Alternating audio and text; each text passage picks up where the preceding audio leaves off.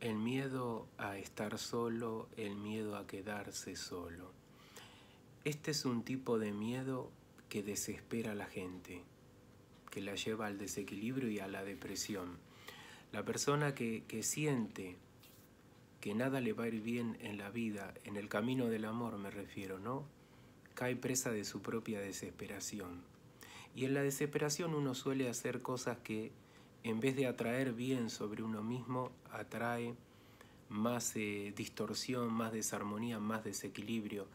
Por supuesto que si uno conecta con determinadas magias, la desesperación que produce el miedo de quedarse solo en la vida o quedarse sola, va a hacer que tú conectes con determinados trabajos que van a hacer que se te peguen entidades, que se cierren más las puertas, que se peguen larvas energéticas, y tomar contacto con, magias o brujerías de muy baja vibración.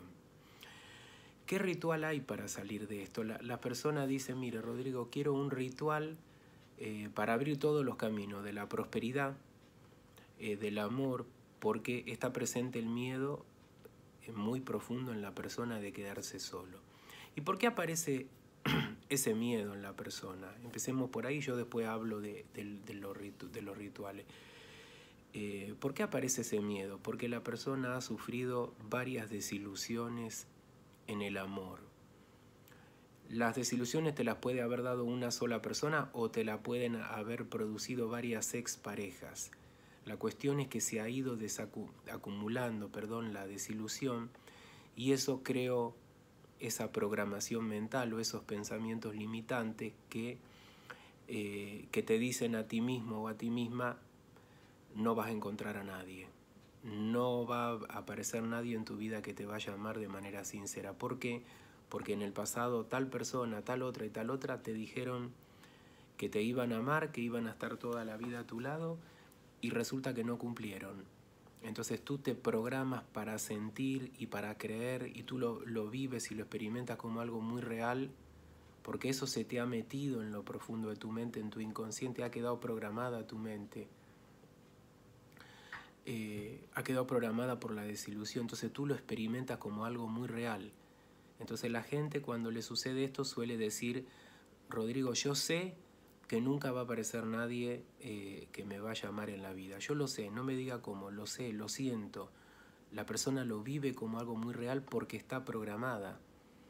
Entonces fíjense que si la persona está en este nivel de vibración programada de esta manera para que todo salga mal en el amor, se pueden hacer 1, 2, 3, 15, 20, 30 rituales y no van a conseguir el resultado que la persona está buscando, que es desprogramarla, ayudarla a creer.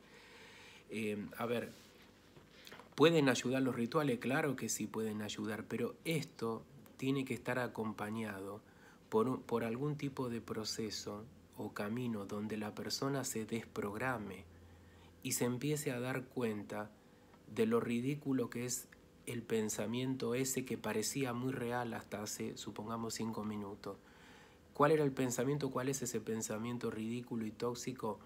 Que nunca nadie me va a amar. ¿Por qué? Porque nadie te amó en el pasado de la manera que tú esperabas. Que nunca nadie va a ser fiel y que me voy a quedar solo. Son todos pensamientos que son ridículos, que no tienen por qué ser reales. Ahora, desde el momento que tú los crees, que tu mente se programa, tú lo vas a empezar a creer, a sentir, eh, se van a generar emociones. O sea, vas a pensar tú y no sabes de dónde viene el pensamiento que te vas a quedar sola. Esto va a despertar tristeza, va a despertar enojo contigo misma, contigo mismo.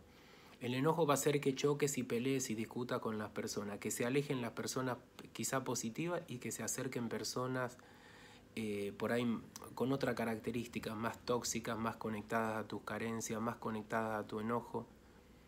Entonces, si tú lo empiezas a creer, lo empiezas a pensar, empiezas a, a vibrar en ese nivel, empiezas a tener esas emociones, vas a atraer esa realidad hacia ti misma o hacia ti mismo. Por eso yo siempre en estos casos hablo de, de procesos de sanación. Por supuesto que hay determinados rituales que en algunos casos provocan eh, que se despierte la fe o la energía de la sanación de la persona y la persona se restaura por un acto de fe, por un acto mágico. Sí, claro, esto puede ocurrir. pero es bien difícil que ocurra esto. Yo entiendo que muchas personas dirán, Rodrigo, pero usted que es eh, brujo que hace este trabajo, usted debería decir, usted tiene que hacerlo con fe. Sí, pero ¿saben qué pasa? Lo van a hacer, van a hacer cualquier trabajo de apertura de camino, de limpieza espiritual, con cualquier camino, eh, chamánico, a través de, no sé, del espíritu de, del doctor Gregorio, no sé, se me ocurre esto, a través de algún guía espiritual o del guía del brujo o del chamán, a través de animales de poder, no sé, infinidad de caminos hay. La persona lo va a hacer con fe, pero después de todo el proceso, en la, mayoría de los, en la gran mayoría de los casos lo que va a pasar es que la persona se va a sentir bien y a los dos, tres días a la semana la persona va a empezar a pensar que, eh, digamos, todavía está firme o todavía aparece la idea que despierta emociones negativas de que tengo miedo a quedarme solo, tengo miedo a quedarme sola, empiezo a sentir que eso puede ser una realidad, la persona vuelve a lo mismo y sin entender por qué, y eso le quita fe a la persona. Entonces sí, por supuesto, cualquier ritual de limpieza espiritual debe ser hecho con fe, pero si uno un ritual así, en vez de poner la presión sobre la persona y sobre el brujo, sobre el ritual, de resolver todo en un ritual de 10 minutos, hay que entenderlo como un proceso donde están estos rituales. No sé si se puede entender la diferencia. Una cosa es que tú digas, este ritual, supongamos que el ritual dura 10 minutos, va a desprogramar lo que usted vino pensando, sintiendo y como vino vibrando durante el último año. Fíjense la presión que ponemos para que en ese ritual ocurra el milagro o el hecho mágico o la sanación. Es mucha presión. ¿Puede ocurrir? Sí, puede ocurrir. Se puede extrabar la persona. ¿En general ocurre en un ritual, en una limpieza de este tipo? No, en general no ocurre. La persona sí se siente bien, sí sana, pero vuelve a los hábitos porque son hábitos de la mente. Las emociones funcionan en patrones cíclicos.